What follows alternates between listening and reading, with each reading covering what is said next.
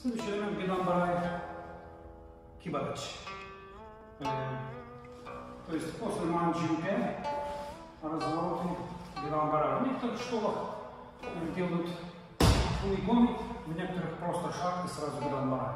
Применяется этот элемент, как и все понимаете? Также наблюдая живот в нижний уровень, ну или чуть-чуть выше. Вот так, как зуки. Ката кибадач. Кибадач удобно тем, что если не один противник, вот один противник хорошо двигает удачи, но если следующий противник, то лучше его держать позицию уже разворота, дает мне возможность идти в другом направлении сразу. Заинпут удачи уже только вперед. Уже трудно стартовать в другую сторону. Кибадач я могу старт в другом направлении, когда несколько нападающих. Ну и сразу ответ.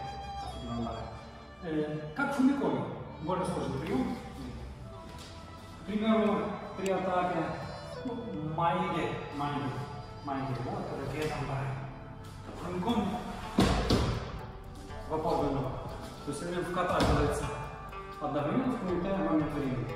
Примерно, майге идет, вылазит этот сразу потом. То есть можем, можем выбить э, ногу, уронить противника.